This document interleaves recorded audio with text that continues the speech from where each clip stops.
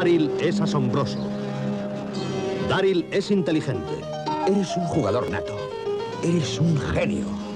Daryl es encantador. Daryl lo tiene todo, excepto pasado. La capacidad intelectual de Daryl rebasa todo lo imaginable. Pero si tiene tantas cualidades,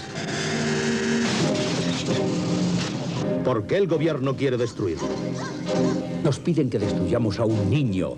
Tranquilo, no es la primera vez. Hay que atraparlos o destruirlos. Es un niño pequeño de carne y hueso. No tenemos derecho a destruirle. ¡Abortar despegue! Daryl, ¿dónde estás? ¿Lo van a derribar? 10, 9, 6, 5.